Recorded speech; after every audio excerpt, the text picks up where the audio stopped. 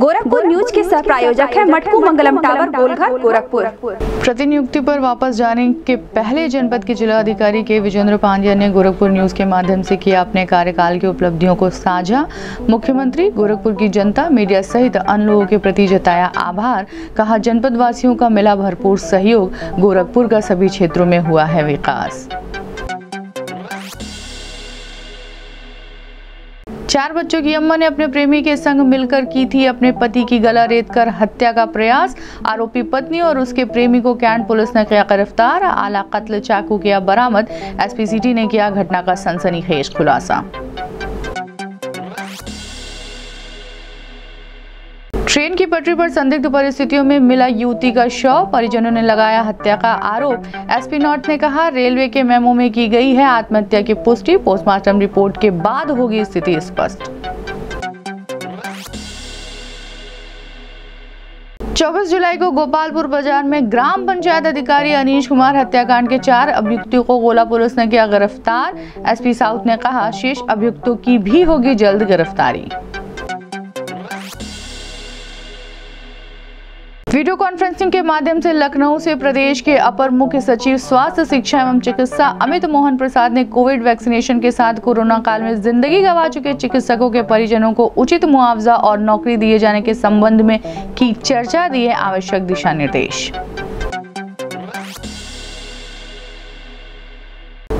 जनता दर्शन और आईजीआरएस में आए फरियादियों की समस्याओं को गंभीरता से ले रही है गोरखपुर पुलिस। एसएसपी ने कहा, सभी प्रार्थना पत्रों का होगा निस्तारण। शासन के निर्देश पर अब हर ग्राम पंचायत भवन में एक कंप्यूटर ऑपरेटर की की जाएगी नियुक्ति। डीपीआरओ ने कहा, कंप्यूटर ऑपरेटर की नियुक्ति से सुदृढ़ बनेगी ग्राम पंचायतें। हत्या के वांछित एक अभियुक्त को रामगढ़ताल पुलिस ने किया गिरफ़्तार। घटना में प्रयुक्त लकड़ी का डंडा किया बरामद, भेजा जेल। मुख्य विकास अधिकारी की अध्यक्षता में संपन्न हुई परफॉर्मेंस ग्रांट समिति की बैठक। परफॉर्मेंस ग्रांट के तहत गाँवों में कार्य शुरू करने के दिए निर्देश।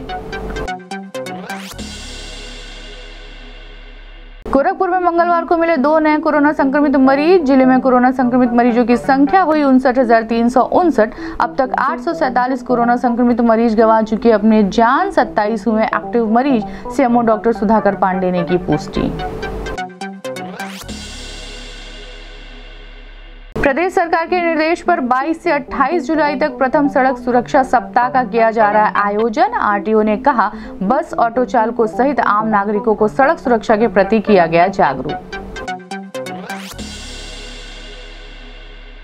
नगर आयुक्त ने किया सिंगड़िया क्षेत्र के जल भराव वाले क्षेत्रों का स्थलीय निरीक्षण। पंपों के द्वारा जल निकासी की कराई वैकल्पिक व्यवस्था, कहा, जल्द होगा क्षेत्र के जल भराव की समस्या का समाधान।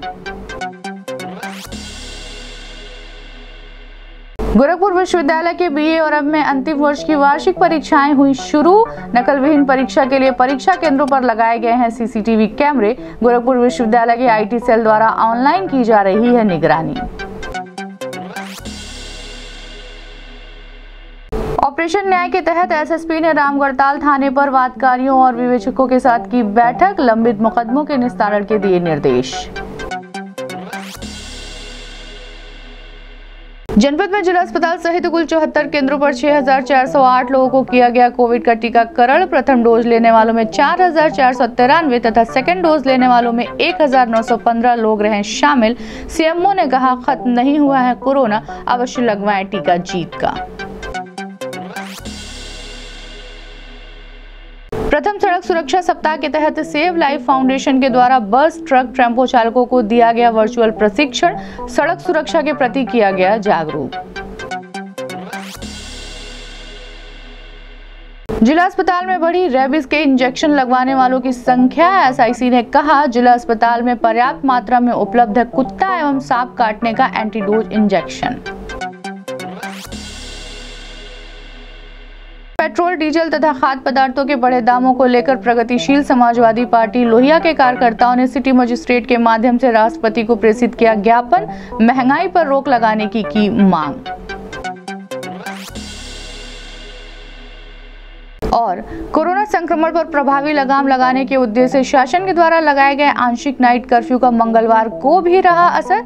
एसपीसीटी ने कहा, रात्रि 10 बजे के बाद रहें घरों में, नाइट कर्फ्यू का करे पालन, रहें सुरक्षित।